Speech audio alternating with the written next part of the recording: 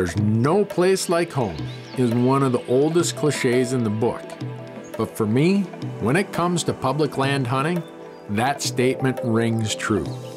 I've hunted all over the West, and whether you're a resident or a non resident, it's hard to find a place with more access and longer seasons than the big sky country of Montana. You look at the total amount of public land that we have in Montana, we have 31 million acres of public land.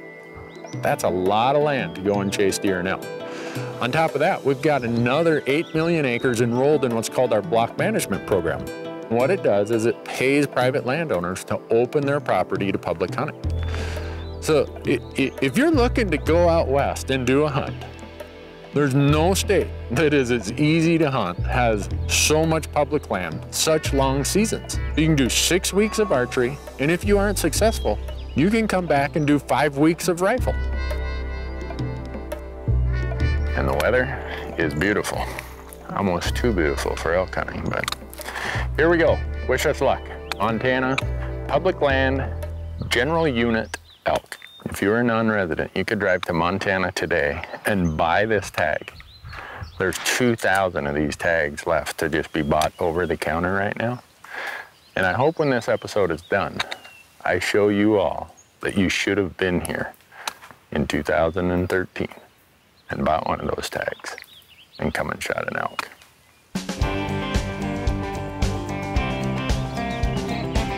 The planning of this hunt is that me and my cameraman, Brad Beast, are gonna haul in a camp. We could hunt from the trailhead every day, but with all of our production equipment and everything, it's easier to haul it up there, set up a small spike camp, and hunt from there.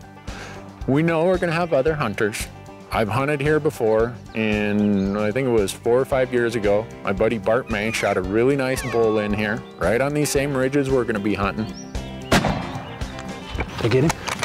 So the whole purpose of this, this episode, besides me wanting to shoot an elk or a mule deer, is to show you how easy this is to do. Time to get organized and go find an elk for this evening so that tomorrow morning, I know where he's at and I can shoot him.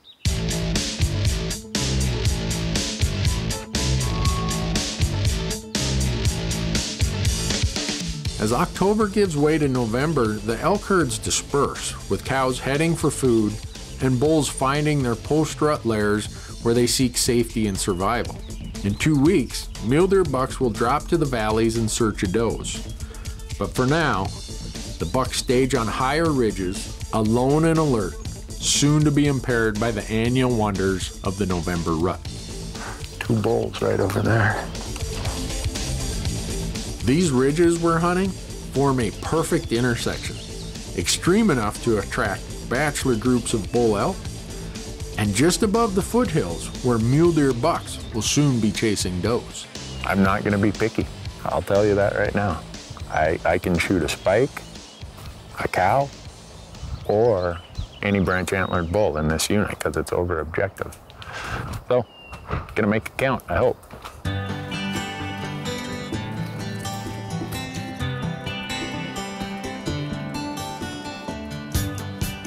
Mule deer down here, I can't tell if it's a buck or an owl. The sun's going down, and uh, I think I'm gonna hoof it out of here. Got quite a ways to go. And hopefully, come back here in the morning, and those two bulls will be here. Uh, when you only got four days to do it, you don't want to waste any opportunities. So, if he's big, we'll shoot him. If he's not that big, we'll probably shoot him. And off we go.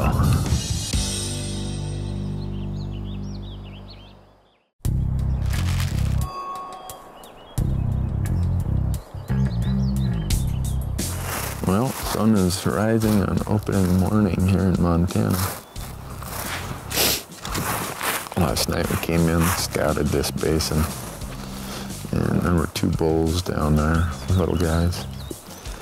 And uh, right as we were packing out, we saw three guys come hiking up the bottom there. And now I see them. They must have spent the night in here somewhere. I see them out on this point out here now that the sun came up. I can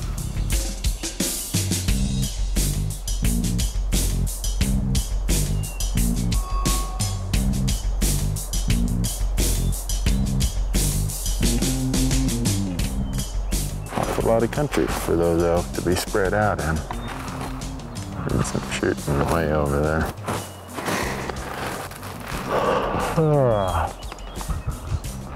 Not what I'd hoped for. I had big expectations, to be honest with you. But we're sitting there, and, and a lot of times, especially as a public land tactic, other hunters will drive game to you. And Brad and I are on this, this ridge like this. He's kind of glassing out this way. I'm walking down, glassing out this way.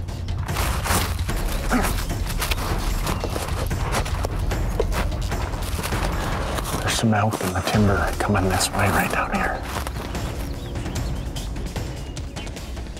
One of them was a bull.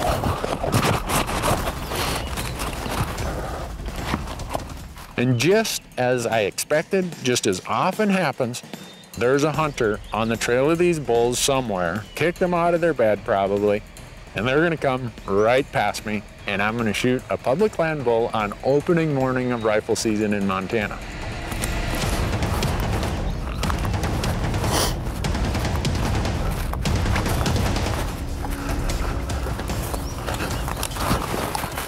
the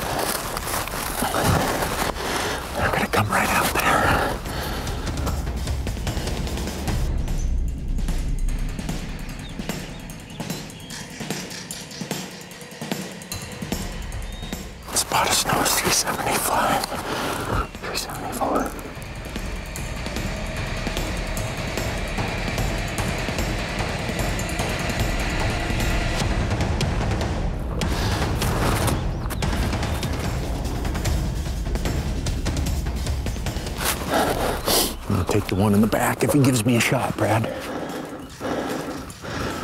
Come on, turn. Turn. And so I'm sitting there, I got the bipod out. I am ready. I mean, this this bull is gonna die. And when you know, they come around and the biggest bull stops right in that patch that I had, uh, I had ranged at 374 yards. And if he was standing broadside, I know I'm gonna shoot but he's he's downhill from me and he's kind of quartering towards me. And a bull, even a, even a, a Rocky Mountain elk bull quartering towards you, you only have about that much of a of a shot window. And as much as I shoot, I'm pretty sure I can thread it in there. But why would I do that if they're continuing to walk down underneath where we're set up? So I, I passed on the shot. Dang it just disappeared over that little ledge there.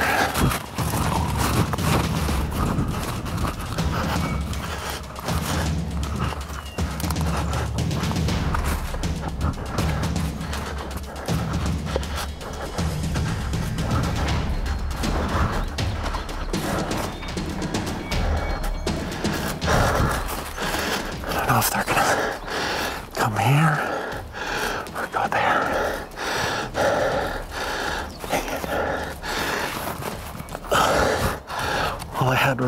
quartering shot at 375. There's another hunter down there. And the wind is blowing from that hunter to them. And when they smelled him, whoom, they turned and they were down off the cliff so fast, I never got that other shot.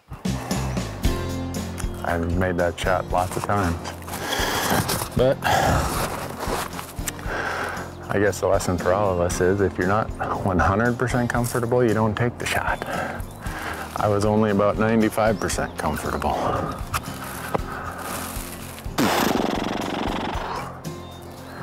How do we kill anything on TV? The largest federal public land access program in Montana is the Land and Water Conservation Fund, or LWCF. LWCF has secured hundreds of thousands of acres of public hunting access in Montana, and helping generate over a billion dollars a year of wildlife related recreation in the Big Sky State. Gallatin National Forest, right here where we are hunting, now has over 100,000 acres of improved hunting access as a result of the Land and Water Conservation Fund.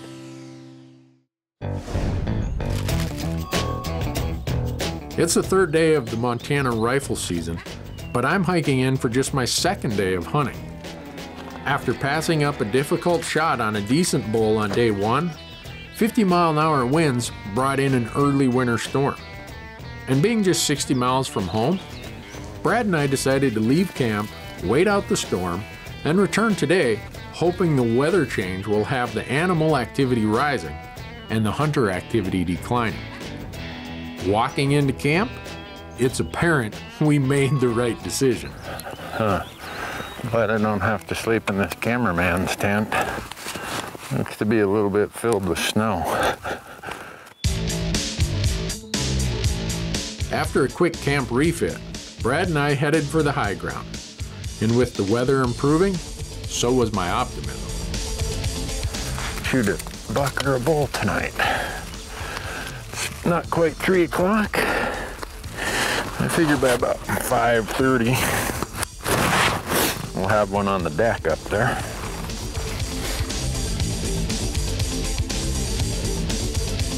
There's nothing quite like the brilliance of the Montana Rockies after a fresh snow. This weather that brings such beauty to the landscape and hopefully a change in hunting fortune has my mind thinking about rutting mule deer. The snow won't have much effect on the elk, but it will push the mule deer does to lower elevations. And with any luck, the bucks, in the mood for love, will move out of the high country. These burn areas attract a lot of animals once the first snow comes because they usually stay void of snow, at least the south facing and the ridge top parts do. And uh, that's feed. It wouldn't surprise me in the evenings to see some bucks start coming onto these ridges and just staging and waiting for the rut.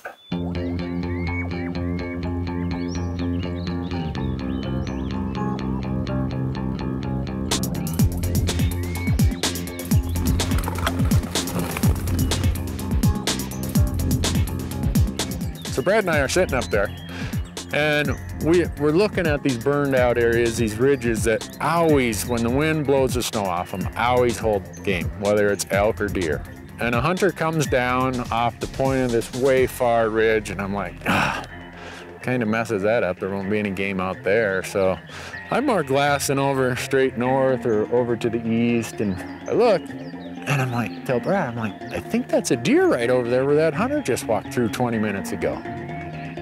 I just spotted a pretty darn nice mule deer buck right out there on that other ridge over there. It's gonna be a long hoof. About 10 after five right now. He's looking straight at me, or feeding kind of straight at me, and I can just see he's pretty wide, and he looks like he's got a lot of mass. And I told Brad, I said, you know, that is a really good public land mule deer, especially in southwest Montana.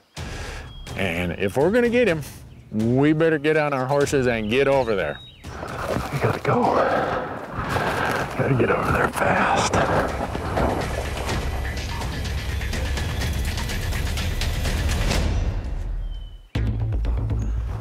It's late on my second day of elk and deer hunting in my home state of Montana, and I'm racing the setting sun to close the gap on what I think is a quality public land mule deer buck. There's this, there's this tree where those two elk were on the scouting night. He's around the corner from that. So if we stay along the tree line and get up above him, hopefully we can see him down below.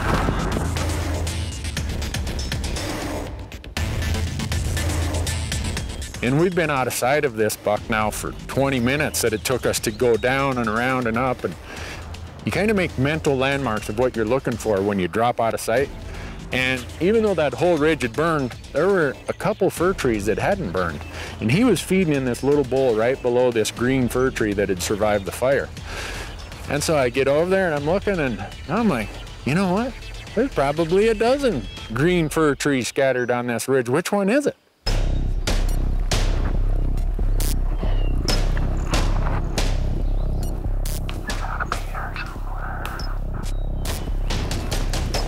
And so we keep going and I'm peeking. No, don't see him. Keep going, look over. No, don't see him.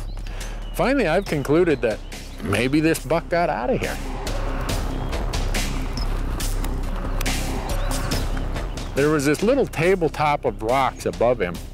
And I told Brad, if we can get to that tabletop of rocks, he's either right down in there or he's gone, one or the other.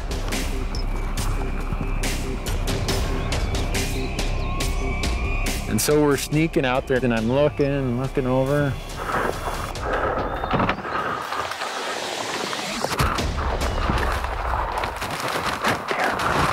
Right down below us, about 75 And I know he probably heard us and smelled us because the wind was going pretty close from us to him. And he's just looking, trying to figure out what we are.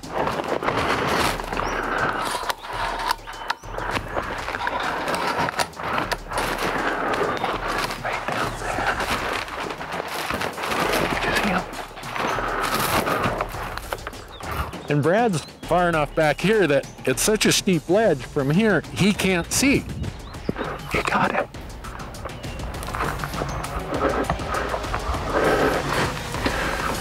Hurry up.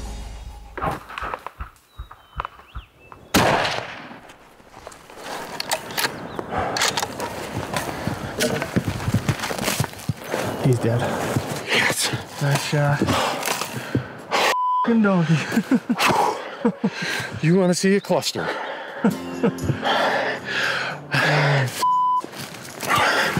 I don't know if you guys can see this on TV. We peek over. That buck is right here, and we can't get on him. We can't get on him with the camera. And I'm like this, with one hand, just like this. And he takes off running, and I put the put the crosshairs right on the, the tip of his shoulder, and boom, it felt perfect. I think he piled up down there. I gotta be honest with you. When I looked at that, that deer, I wasn't really looking at the antlers. I just knew it was a good public land buck. And I knew that this was the kind of opportunity that we'd come here and work so hard to, to produce. Anybody could come and do this. Right now, there are 2,000 tags available in Montana for an elk deer combo. If you wanted to come here and do what I just did, no draw, no nothing. Just come here, buy your tag, come up in the mountains and do it. And you probably would have killed one of those bulls I passed on the first morning. Tags are easy to draw. We got almost, I don't know, 33 million acres of public land, something like that. We got 8 million acres of block management that's open to public hunting. Don't come to Montana. You'll just shoot big elk and nice mule deer. Pretty easy to follow this blood trail. Holy cow. He is bleeding profusely. And he is laying right here profusely. Oh, look at all the junk he has.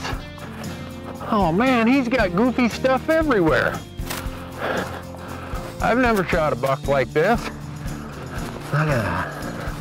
Huh? He's got junk over here, one there. I don't know what he's got going on this side. He's got an extra one there, an extra one there, and there. Look at the webbing and that. I'm a very happy guy. Thank you, Mr. Buck. Thank you. All of us dedicated to public land hunting understand that trophies come in all shapes and sizes. Well, this is a beautiful mule deer buck, for me, it's one of my greatest trophies because it gave me the opportunity to show all of you just what Montana has to offer to everybody, resident and non resident alike. There aren't too many places where that's possible, but in Big Sky Country, there are fresh tracks available to pretty much anyone every year.